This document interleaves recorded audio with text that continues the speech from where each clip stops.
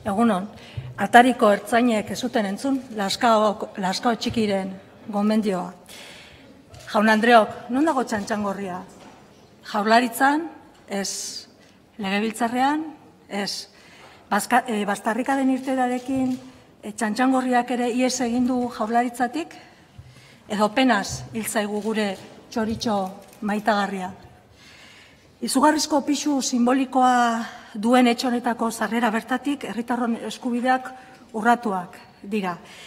Ertzaintzak kudatzen duen etxonetako sarrera arrotza da euskaldunontzat.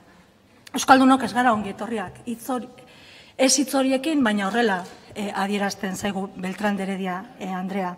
Hala izan zen, etxe hau ezagutzera horbildu ziren Lekeitioko Institutoko irakasle eta ikasleentzat. Ez da lehen aldia galdetzen dugula zarrerako harrera gune horrengatik. 2013an zer horri galdetu genizun, gai horren inguruan, eta esan zen egun, lasai, ez keskatu, lehentasuna da, eta badugu erremedioa, euskeraren erabilera plana.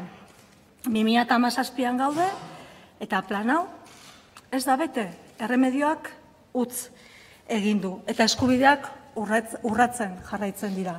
Noiz arte, ondo iruditzen altzaizu, zelburu Andrea, ertzentzak kudeatzen duen zarrera gune horretan herritarron eskubideak urratzea. Eskerrik asko, ubera Andrea, erantzuteko, Beltran Deredi Andrea, zurea da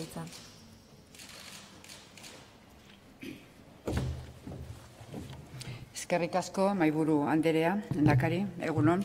Jakina da, askotan esan dugulako zein den Euskararen ezagutzen maila